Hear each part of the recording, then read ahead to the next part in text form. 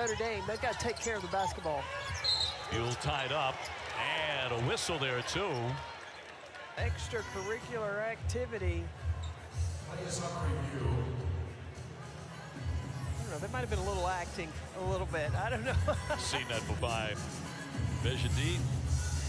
Yeah, Sara Bejedi. Yeah, the new. Do they go to the monitor?